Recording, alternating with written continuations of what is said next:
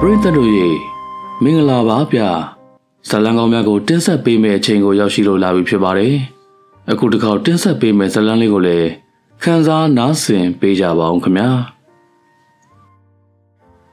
အချိန်ကာလအားဖြင့်1990ခုနှစ်ဝန်းကျင်ခန့်ကဖြစ်ပါတယ်ဒေါ်ဤစိုးဆိုတာကတော့မူလာတန်းပြကျောင်းဆရာမလေးတူဖြစ်ပြီးမူလာတန်းကျောင်းအဖြစ်ရာထူးတိုးလျှောက်ထားပါတယ် အခုချိန်မှာသူ့ရဲ့ရာထူးတိုးအမိန့်စာကလက်ထဲကိုရောက်ရှိနေပြီဖြစ်တော့လေဤစိုးတယောက်မပြောနိုင်ပါစီလီယာစီလျှောက်ထားခဲ့မိတဲ့သူ့ရဲ့အခုတာဝန်ကျရနေရာကရှမ်းပြည်နယ်တောင်ပိုင်းမြို့နယ်လေးတစ်မြို့တွင်းမှာရှိတဲ့ကြေးရွာလေးတစ်ရွာမှာဖြစ်ပါတယ်ထိုကျွရွာလေးကစုံပညာသင်များအလွန်ပေါများတယ်လို့နာမည်ကြီးလာပြီးထိုနယ်မှာသူများကိုအားလုံးကလည်းရှောင်ကြပါတယ်အဲဒါကြောင့်လည်းထိုရွာလေးမှာတာဝန်ထမ်းဆောင်ရမယ်လို့သိလိုက်ရတဲ့အခါ သူလည်းနာမည်ကြီးထက်လန်းဆရာကြီးများထံသို့သွားပြီးတော့အဆောင်လက်ဖွဲ့ရယူခြင်းဆရာတော်ကြီးများထံမှပရိယေများပရိကျိုးများဆောင်ယူပြီးမှထိုရက်ဒေသသို့တောက်ရောက်တာဝန်ထမ်းဆောင်ခဲ့ပါတယ်။ထိုရက်ဒေသကအရင်ကအမဲရောင်နေမြေဖြစ်ပြီးတော့မကြာခဏလေးတိုက်ပွဲဖြစ်တတ်ပါတယ်။အေဆိုတာဝန်ထမ်းဆောင်တဲ့အချိန်ကပင်အညိုရောင်နေမြေလို့သတ်မှတ်ထားဆဲဖြစ်ပြီးတော့အလုံးစုံမအေးချမ်းသေးပါ။ဒီလိုဒေသမျိုးသို့တာဝန်ကျတဲ့ဝန်ထမ်းအတော်များများကအလုတ်ထွက်သွားကြပါတယ်။ သူကထိုရွာလေးသို့မူလာတန်းချောင်းရာထူးတိုးနဲ့တာဝန်ထမ်းဆောင်ခဲ့ရခြင်းဖြစ်တဲ့အရာထိုကြောင့်လေတိုးတက်ရေးအတွက်ရောက်ရောက်ချင်းပဲရက်ရွာလူကြီးများနဲ့တွေ့ဆုံကအလုတ်ရှုပ်လျက်ရှိနေပါတယ်။ထိုဒေသမှာရှိတဲ့သူများကတိုင်းရင်းသားများဖြစ်ကြပြီးမြန်မာစကားသိမတတ်ကြပါ။သူတို့သုံးတဲ့မြန်မာစကားများကလည်းကျန်းနေလို့ခေါ်ရမလားရိုင်းနေလို့ဆိုရမလားမပြောတတ်ပြီ။အဲဒီလိုနဲ့အီဆိုးရောက်ပြီးနောက်တစ်ပတ်ခန့်အကြာမှာတော့ဆီယမကြီး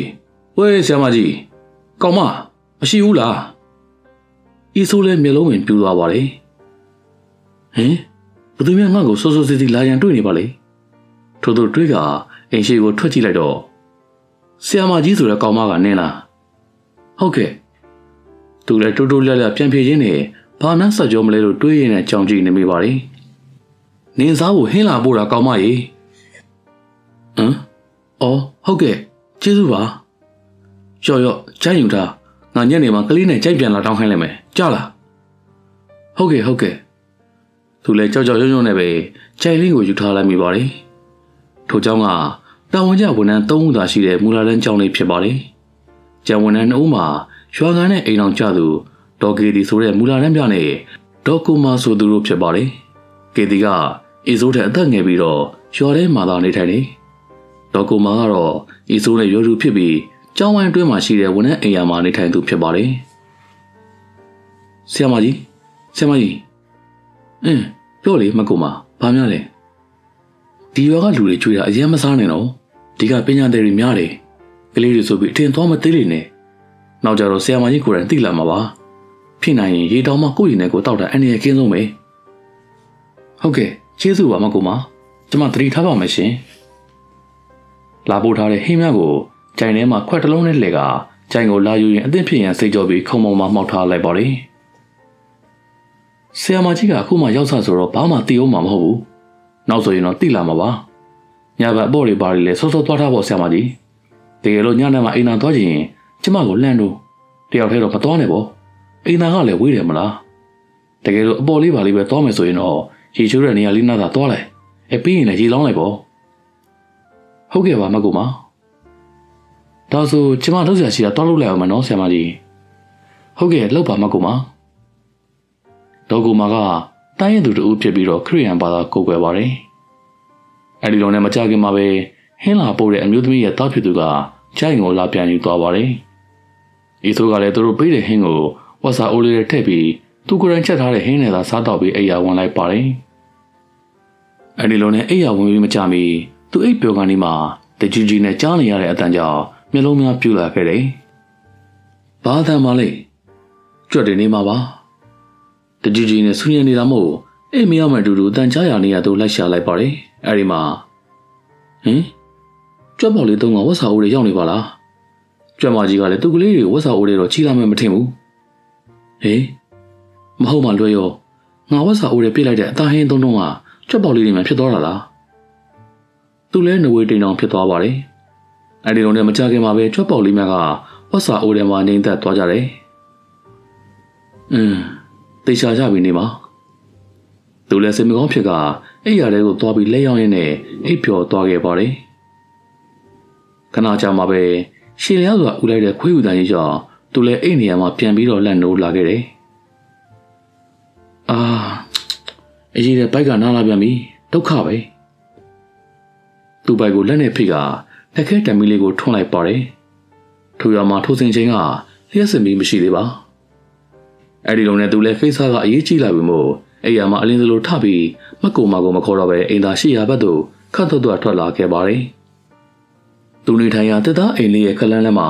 မကူမနေထိုင်ရာတစ်သားအိမ်လေးရှိပါတယ်မကူမအိမ်ရဲ့ဘေးနှင်းငယ်ကွာမှာတော့တစ်ထက်ပြင်ကကျောင်းဆောင်ရှိကြီးရှိတယ်ထိုကျောင်းဆောင်ရဲ့ဘေးမှာတစ်ထက်စားကြီးတဲ့အုတ်တိုက်ခန်းလေးရှိပြီး ထိုခန်းရဲ့ဘေးမနီးမဝေးမှာတော့ဆရာဆရာမများ300အိမ်သာရှိပါတယ်သူလည်းအသွားတော့ကဇုံးနေမှုကြောက်ရကောင်းမှမသိပေအိမ်သာတက်ရွယ်ကိစ္စပြီးမှအခန်းသို့ပြန်ရမယ့်ဖြစ်ကိုတွေးကချွေးများပင်ပြန်လာခဲ့ပါတယ်။ကျောင်းရှိမှာခွေးတအုပ်ကလည်းဆွဆွငင်ငင်ဦးနေကြတယ်မဟုတ်လား။အဲဒီလိုနဲ့သူလည်းရေရင်ထဲမှာထွက်ကစာကြည့်တဲ့ရှေ့ကိုဖျက်လျှောက်လာတဲ့အခါမှာတကြောင်ကြောင်နဲ့တကားတုံးဖွင့်တန်လို့ကြားလိုက်ရသဖြင့်သူလည်းအတော်ပင်လန့်ပြန်သွားပြီး စာကြည့်တဲ့တကားကိုလက်နေတမင်းနဲ့တိုးကြည့်လိုက်ရတကားမှာအတွင်းမှာတယောက်ယောက်တုံးဖွင့်တဲ့ကဲ့သို့လှုပ်ခတ်နေတာကိုတွေ့လိုက်ရပါတယ်။ဖယားကြီးစာကြည့်တဲ့ကဘာတူလဲ။သူလည်းအလံတကြားနဲ့မပြေုံတမဲခတ်သွက်သွက်ရှောက်လိုက်ပါတယ်။အဲဒီလိုရှောက်နေစဉ်မှာပဲစားကြည့်တဲ့တကားကဒုံဝင်နဲ့ပုံသွားတဲ့ကိုကြားလိုက်ရတယ်။သူလည်းအတန်ကြားရနေရကိုထမင်းနဲ့လမ်းထိုးကြည့်လိုက်တော့စားကြည့်တဲ့တဲကနေကချင်းပစိုးအကွက် အိမ်ကြီးဖြူဝတ်ထားတဲ့လူတအိုးပြေးထွက်လာပြီးမကြမီလဲကျသွားတယ်။အဲဒီတော့သူလည်းတမင်းနဲ့ထိုးကထိုးသူကိုကြောင်ကြည့်နေမိပါတယ်။ထိုးသူမှလဲနေရမှာခေါင်းထောင်လာကထိုင်လိုက်တယ်။အဲဒီခါမှာထိုသူရဲ့ဦးအောင်တစ်ချမ်းနဲ့မျက်လုံးတစ်ဖက်မှာဟောင်းလောင်ပေါ်ကြီးဖြစ်နေတာကိုတွေ့လိုက်ရပါတော့တယ်။အမလီအမလီတရေတရေမကူမကြီးကဲပါအောင်။အော်လေအော်ပြေးလေပြေးရင်းနဲ့မကူမရဲ့အင်းရှိကိုအရာ မကူမလေးပြေးထွက်လာပြီ။ဆရာမကြီးဆရာမကြီးဘာဖြစ်တာလဲ။သူလည်းစာကြည့်တဲ့ဘက်ကိုလက်ညှိုးထိုးပြီးနောက်အရာအလုံးမောင်တိဖုံလန်းသွားခဲ့ပါတယ်။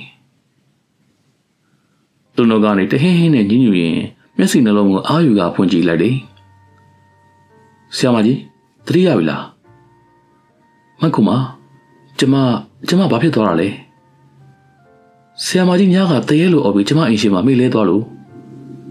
ထိုခါမှညကအဖြစ်ကိုပြန်ပြီးသတိရလာမိပါတယ်။ဟင်ဟုတ်တယ်ဟုတ်တယ်ညကကောင်းတစ်ချက်မှပါတဲ့လူတယောက်စာကြည့်တဲ့တဲကထွက်လာတာ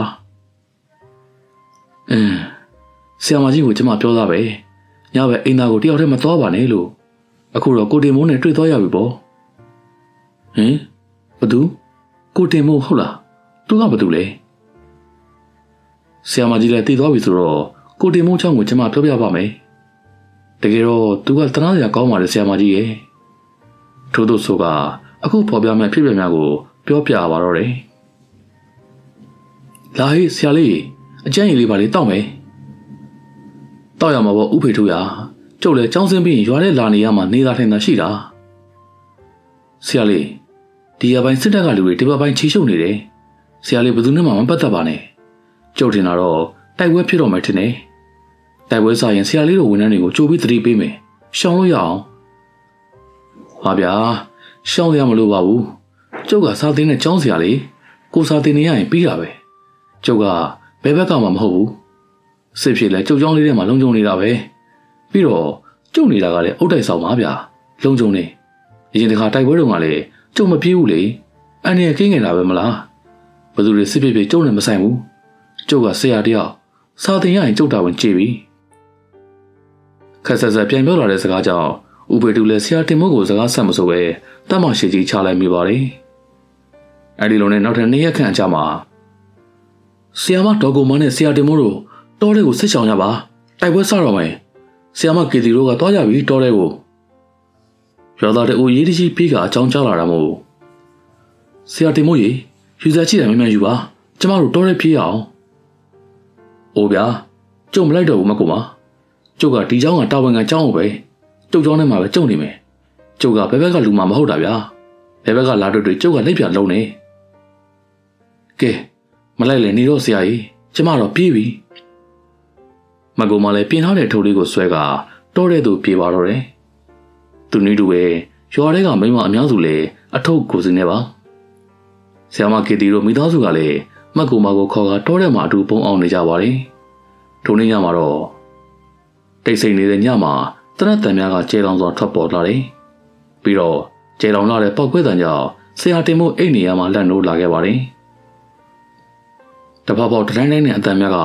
ကျောင်းဝိုင်းအနီးမှာအတန်များတစ်ဖက်နဲ့တစ်ဖက်အပြန်အလှန်ပြစ်ခတ်နေကြတဲ့တနတ်တန်များပြီးတော့တပုတ်ပုံနဲ့လူများပြေးတော့နေတဲ့အတန်များကဆရာတင်မို့နေထိုင်ရာအဆောင်နဲ့နေတဲ့နီးလာခဲ့ပါတယ်အဲဒီတော့သူလည်းထိတ်လန့်ချောက်ချာလာခဲ့တယ်အဲ့ဒီချိန်မှာပဲ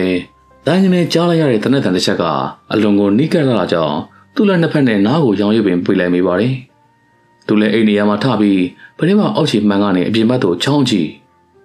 သူ့ရဲ့ဘဲဘက်မျက်လုံးနဲ့ကောက်တချံထူပူထွားတော်မူအလံတကြားထကာပြေးလိုက်ပါတယ်။ညနေတကောင်အမောင်ရံထဲမှာထပြီးသူ့ထက်မှန်လဲကျသွားပါတော့တယ်။ဟင်ဒါဆိုဆရာတင်မိုးကတိုက်ပွဲတွေဖြစ်တော့တရက်မှန်ပြီးတည်သွားတာပေါ့ဟုတ်လားမကူမ ဟုတ်တယ်ဆရာမအဲ့ဒီအချိန်ကလေးကတကောင်ကျော်သူတည်ခဲ့တဲ့အချိန်ကိုရောက်တိုင်းသူနေတဲ့အခန်းထဲကနေအလံတရားပြေးလာတဲ့သူ့ကိုတွေ့ကြရတာခုချိန်ထိပဲအစာကကျမတို့လည်းကြောက်ပေမဲ့အခုတော့နေသားကြနေပါပြီဒါဆိုသူ့အတွက်ကုသိုလ်ပြုအမြောက်ဝေပေးတာတွေမလုပ်ကြဘူးလားဝေပေးတာပေါ့ဆရာမကြီးရဲ့သူကဗုဒ္ဓဘာသာမို့ဗုဒ္ဓဘာသာနေတိုင်းအမြောက်ဝေတာတွေဘာတွေလုပ်တယ်ဒါပေမဲ့မကြွဘူးပဲသူအခန်းထဲဘသူလာလာမကြိုက်ဘူးလေအခန်းထဲကိုဝင်ရင် သူကအတန်လေးပေးပြီးခြောက်တာသူထားကြည့်လို့တနတ်မှန်ခဲ့တဲ့ပရင်းပေါက်လေအခုထိမပြင်ရသေးဘူးဒီတန်ရှိနေတော့မယ်အဲ့ဒါကြောင့်ဆရာမကြီးကိုညဘက်အိမ်သာမတော်ကိုတားတာပါอืมကြောက်စရာလည်းကောင်းတနာစရာလည်းကောင်းပါ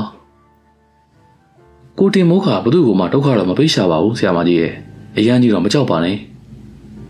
မကူမကောင်မကြောက်နဲ့လို့ဆိုပင်ညလေမိမိကိုယ်တိုင်၆လန့်ခံခဲ့ရတာမို့ကြောက်မိပါတယ် ပရလောကသားရှိနေတဲ့အဆောက်အဦရှိရာဝိုင်းကြီးထဲမှာနေရသည်မှာလိုက်ပြတော့မလုံးပါတရတော်ညနေခင်းတစ်ခုမှာဤဆိုးနဲ့ကိုမာတို့နှစ်ဦးက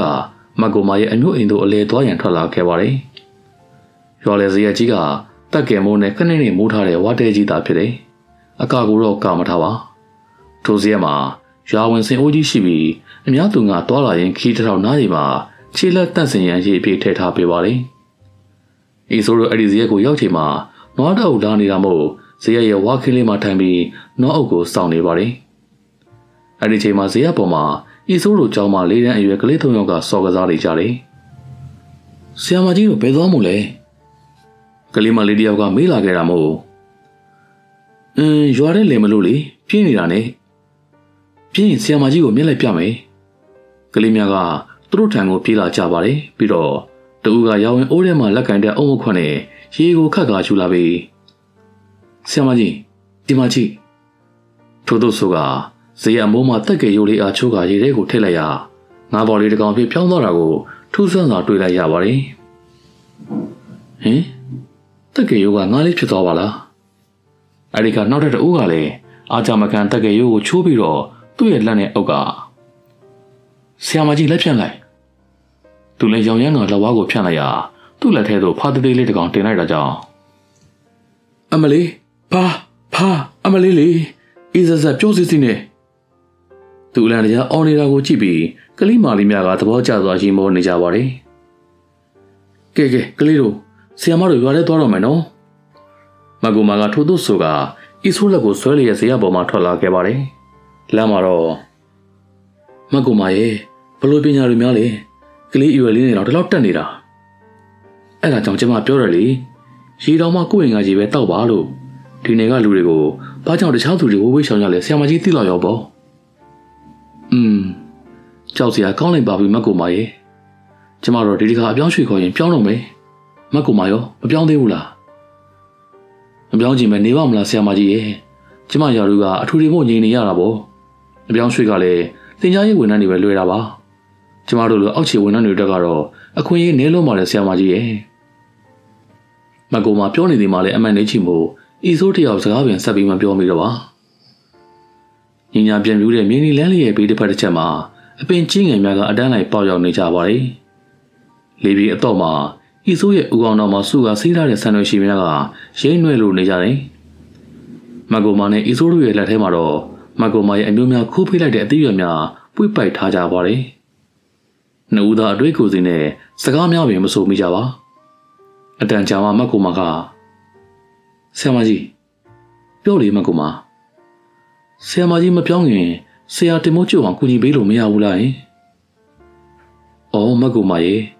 ကျမလည်းဆရာတင်မိုးအကြောင်းကြားရတာစိတ်မကောင်းဖြစ်နေရတယ်။ကိုကကျွတ်စေခြင်းမမဲ့လေသူကတာရုခေါ်ဦးမလေး။ဆရာမကြီးကျမလေမင်းညာကကျမဆောင်ရှိမှာညဘက်ကြီးခြေတံကြားလို့ဘာလို့လဲဆိုပြီးပင်ရတဲ့ကနေချောင်းကြည့်တာ။လာကလည်းတာနေတော့လေ။ ဟင်ဟုတ်လားဘာလို့လဲတွေ့လိုက်လား။တွေ့တယ်ဆရာမရဲ့ဆရာတင်မိုးပါ။သူကကျမအခန်းဘက်ကနေဖျက်ချော်ပြီးဆရာမကြီးအိမ်ရှိခလန်းလန်းကနေဆရာမကြီးအိမ်ကိုရက်ကြည့်နေတယ်။ပြီးတော့ထိုင်ချလိုက်ပြီးဒူးတောက်ထိုင်ရင်ဒူးကြီးဘော်ကိုသူကောင်းကြီးမှောက်ပြီးထိုင်ကုန်နေတယ်ထင်တာပဲ။သူကဆရာမကြီးစီအကူကြီးတောင်းနေပုံရတယ်။ဟင်ဟုတ်လား။တနာပါလေ။ကျမဘလို့ကူညီပေးရပါ။အော်ဆရာမကြီးရဲ့ ဆရာမကြီးညဘက်ဖျားရှုကိုပြီးရင်အိမ်မက်ပေးဖို့ပြောကြည့်ပေါ့။ဆရာမကြီးကြောက်ရင်ကျမတင်ညဆရာမကြီးခန့်ကိုလာအိပ်ပေးမယ်လေ။အင်းကြိုးစားကြည့်မယ်လေ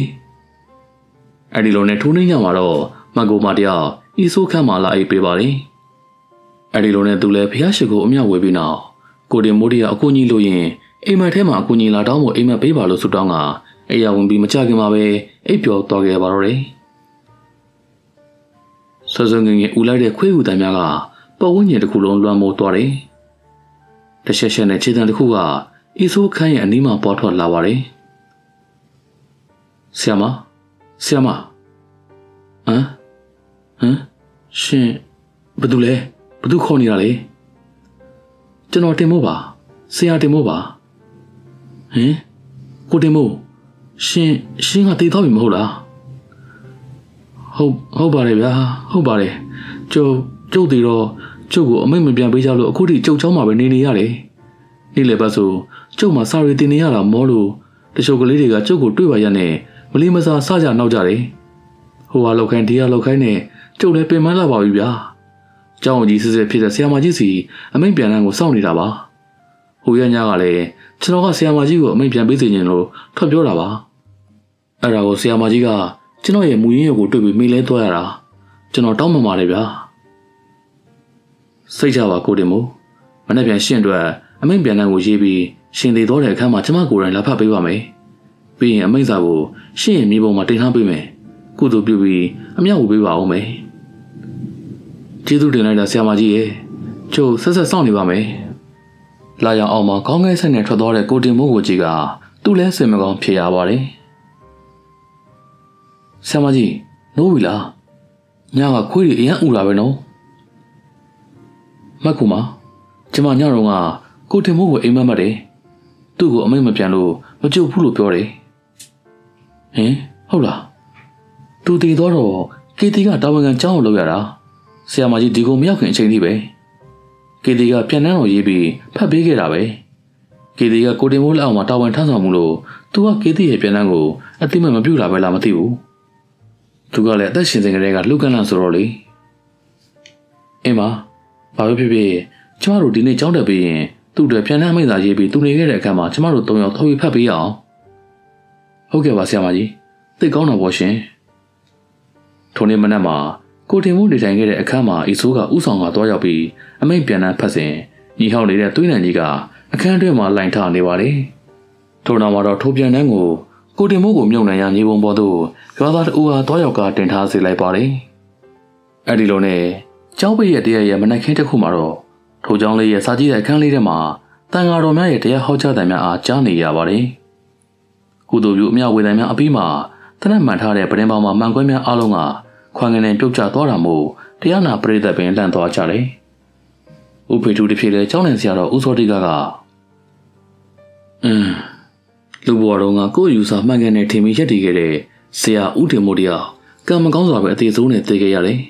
။အဲ့ဒီနေကသာချူပြောတာလေးလက်ခံလိုက်ရင်ကန်ဆိုးမှုကလှုပ်ချင်လှုပ်မှာပေါ့အသက်ကိုညံဆောင်ဥစ္စာကိုကန်ဆောင်နေတဲ့တကကြီးတင်မို့ကွယ်လွန်သွားတာဝန်ထမ်းဆိုတဲ့စိတ်ဆွဲကြောင့်အမိန်ပြန်တန်းကိုစောင့်နေရရှာတယ်ကျုပ်တို့အရင်ကလည်းဒီလိုပဲကုသိုလ်ပြုအမျှဝေပေးပေမဲ့သူကမကြုတ်ခဲ့ဘူးတကားမကြီးအခုတော့ဆရာမကြီးအမိန့်ပြန်တဲ့နဲ့ ကိုတော့ရဲ့တရားစံကြောင့်ကျွတ်လို့တဲ့ဘဝကိုရောက်သွားပြီထင်ပါတယ်တင်မအရှင်ဗျာအင်းအမိန့်ပြန်တဲ့ကိုစောင့်နေကြရရှာတဲ့တကားကြီးတင်မို့တယောက်ကောင်းရာသူကတိလာပါသည်ဆရာတော်ကြီးကထိုးထိုးမိတ်ဆိုကစားကြည့်တဲ့အဆောင်တွင်းမှာတင်းငင်စွာပြန်ချွတ်သွားခဲ့ပါတယ်